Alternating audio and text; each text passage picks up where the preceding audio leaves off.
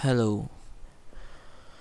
In this video, we are discussing an example to explain budget line and budget constraint.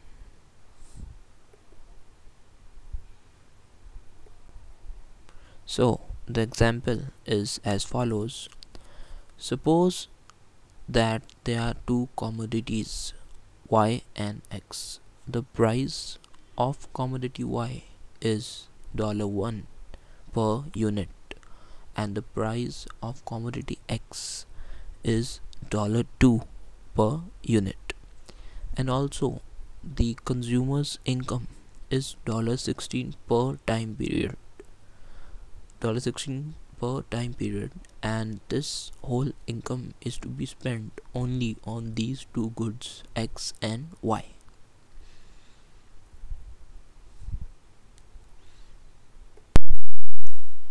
So to begin with the solution of this example we will first see how to find the horizontal and vertical intercept in this example. Now to get the vertical intercept the y-axis intercept we will see like what happen if this consumer spend all of his income on commodity Y.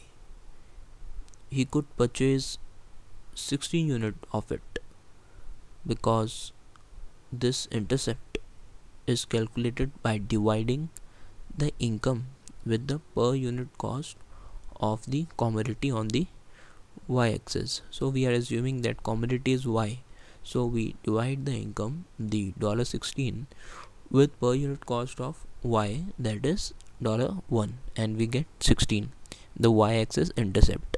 Similarly to find the horizontal intercept just divide the commodity on the horizontal intercept. Oh sorry just divide the income with the per unit cost of the commodity on the horizontal intercept. In this case the commodity on the horizontal intercept the x-axis is commodity X which costs dollar 2 per unit. So we will divide dollar 16 with dollar 2 and we have got this 8 on the horizontal axis this is the horizontal intercept or the x-axis intercept. Now by joining these two intercepts we get this consumer's budget constraint line or budget line. The budget constraint line gives us all the different combinations of x and y that the consumer could buy.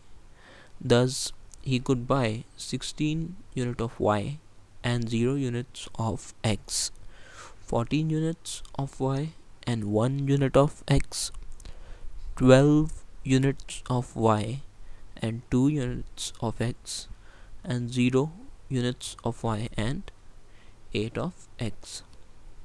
So these are all points on this budget line. Now these are the points which satisfies the equation of budget line. But they are not the only points. They are not the only points in the budget set.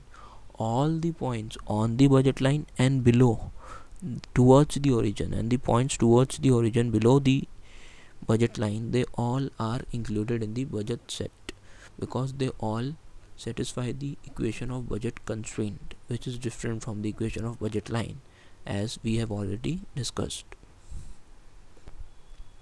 Now note that for each unit for each two units of y that the consumer gives up for each 2 units of y that, that the consumer is giving up he can purchase one additional unit of x. He gives up 2 units of y and gets only 1 unit of x. Because 1 unit of y is dollar 1 per unit so 2 units of y is dollar 2 per unit which is what a single unit of x costs. Now slope of this budget line has a value of minus 2 minus 2 the minus sign is because we have to give up some amount of one good to acquire more unit of the other. As we have already discussed in the slope video the slope of budget line video also to be noted is that all points on the budget line indicate that the consumer is spending all of his income on x and y that is px into qx that is the total expenditure on commodity x plus py into qy that is the total expenditure of commodity y is equal to m. That is the income dollar 16